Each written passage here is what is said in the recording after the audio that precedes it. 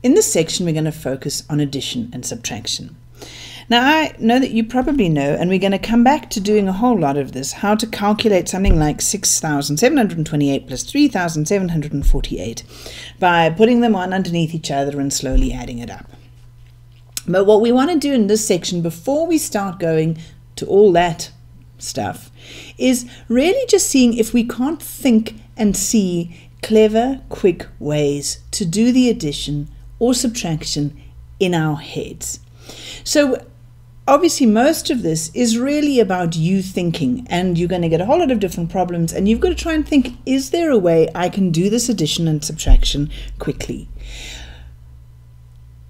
but I'm going to give you a few examples first, just so that you see what I mean by trying to reason through, come up with strategies for getting the answer quickly without having to do the boring calculation. So let's start off by throwing one at you. If you already know that 6,728 plus 3,743, someone's already worked that out and told you it's 10,471, what's a quick way of getting 3,728 plus 3,748. Pause the video now and write down the answer to this. Okay, so let's go over that. Did you see that really the only difference between these two things is here? That in this one you've got a 3 and in this one you've got an 8. So really you can see that what you've done is you've added on 5 more. So what's your answer going to be? It's just going to be 5 more. So your answer is 10,476. See what I mean about finding a quick way rather than going through the whole calculation. So this is that, that was really our first strategy, using a known or easy fact. So in the previous one you saw we were given a fact, a known fact, and we could get the next sum out just by using it. More often than not, of course, you're going to have to come up with a fact yourself.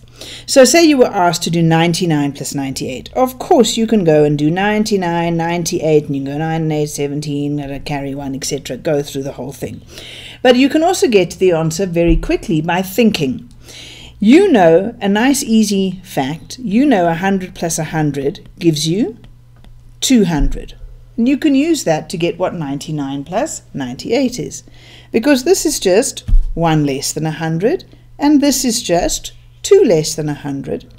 And so in total your answer is going to be 3 less than 200. So it's going to be 197. Another strategy we can use is to rearrange the order in which we do things. So if we're given 9 plus 8 plus 3 plus 2 plus 7, of course we can just start from left to right and go adding 9 plus 8 plus 3 plus 2 plus 7. But with addition, we can rearrange the order in which we do things to make it easier for ourselves. So for example, we can notice 7 and 3 makes a 10, 2 and 8 also makes a 10. So we've got 10, 20, 29 here nice and easy. Similarly, if we had 101 plus 237 plus 99, again, we can just rearrange the order in which we do things because we're dealing with addition. And 101 plus 99, that's easy, it's 200. And 200 plus 237 is 437. All right, the last strategy I'm going to show you is seeing it on the number line. Um, and I do a lot of work on the number line. I find it helps me really, if I can see where the numbers are, it helps me very much to work with them. Now, you can go and do a number line where, you know, you start, and I'm sure you've done it all the way through your primary school, you know, where you start and you go zero, one, two, three, four, five, etc., etc but basically most of the time now that you're in an older grade you're not going to be dealing with really small numbers. So to actually go if you're going to do something like i'm going to talk about here 1004 if you're going to go and draw 1004 little lines on the number line it's going to take you forever. So i just really get a broad sense of where we are so basically, if I'm dealing with this one, 1004 minus 998, what I'll start off with is I'll say, look, okay, I know really where I'm dealing with is, you know, somewhere in the number line is 900, and then after that comes 1000, and then you carry on going up.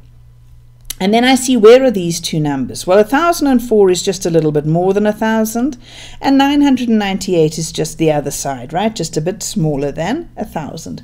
And that's really all I need on my number line. I'm not being very accurate. I'm just being I just need to be clear about where they are, right? So 1000 is just 1004 is to the right of 1000 and 998 is just to the left of 1000. And that's really all I need to help me because then I can say, well, look, if I'm wanting to know how what's the difference between 1004 and 998, I can say, well, from 998 to 1000, that's two steps, and from 1000 to 1004, that's four steps. So there are six steps different between 1004 and 998. And that's a lot easier than doing a whole big calculation like this, which is going to involve some ugly borrowing and everything like that. So seeing it on the number line is another strategy. So what I've done today is just show you a few examples of some strategies I use to help me do addition and subtraction quickly in my head.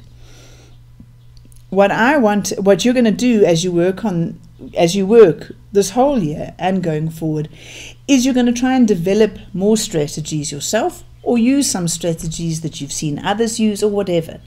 So, what I want you to constantly be aware of is to think is there a way I can do this calculation quickly and easily? Can I be clever in the strategies I use so that I don't have to do long, boring calculations? So keep that focus um, and while you do the examples that follow.